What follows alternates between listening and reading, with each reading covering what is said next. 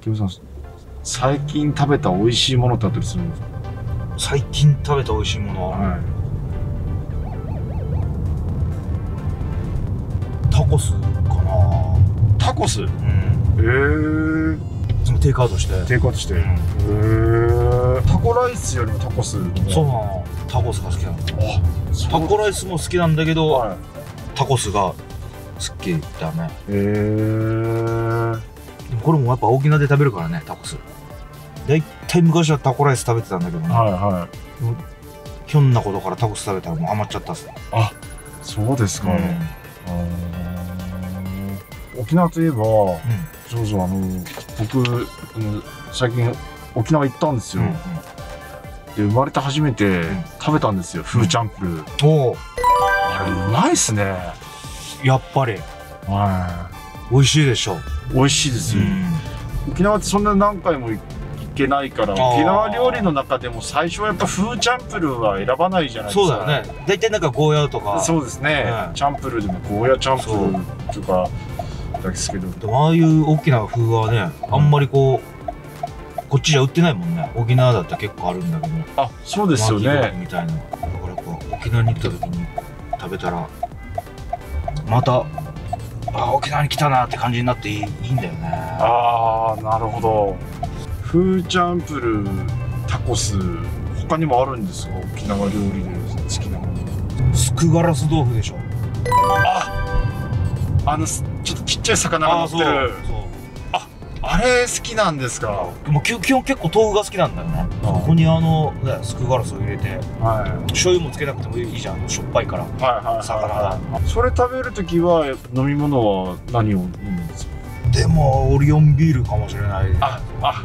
あれケンさんビールってうん。飲むときってなんかこだわりがあるんですよあまあ泡がないのがいいんだけどね。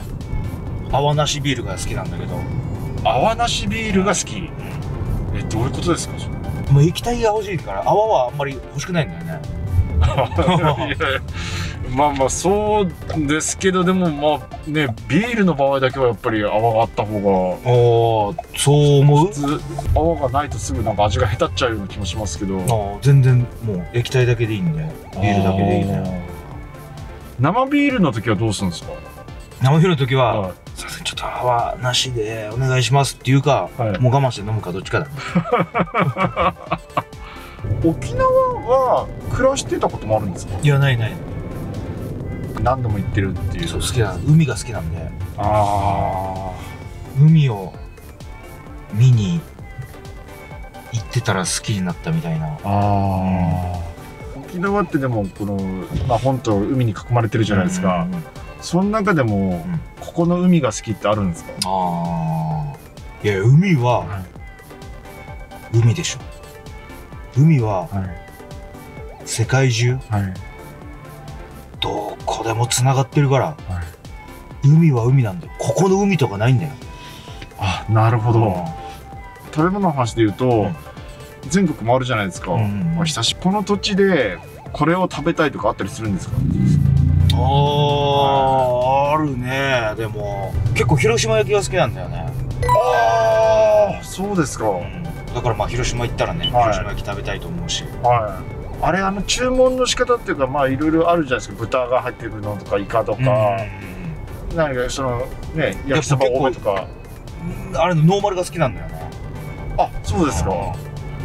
結構天かすとかねはい。いろいろ人いるけど結構ノーマルで卵だけ入ったらいいかなっていう、大阪のお好み焼きとちょっと違うじゃないですかあれ確かに。ねそう大阪のお好み焼きもはい。好きなんだよ、はでも俺、はい。関東のお好み焼きは嫌いなの。い違いわかんない。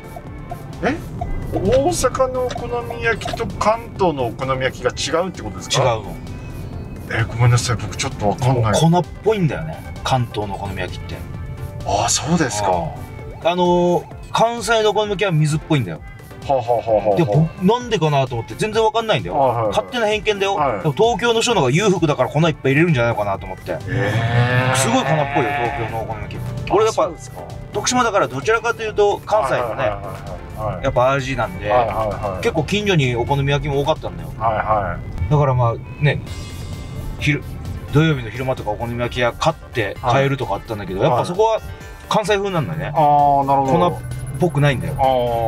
東京に来て食べたらもう食べれなかったもん。あそうですか。粉っぽすぎて。じゃあそれはそれとその関東と関西のうん。違いがあるとして、でも大阪のお好み焼きと広島のお好み焼きはまたちょっと違うじゃないですか。じゃもうね違うね。はい。それは広島の方が好きなんですよまあどうなのかな。もうでも関東のお好み焼きじゃなかったらまあいいかなと思うけどね。なるほど。関西のお好み焼きもまあす好きだもんね。なるほど、うん広島広島行ったらねーはい。食べたくはなるよね。お好み焼きだったらやっぱビールですか？そうだね。泡なしで。まあもちろん。なるほど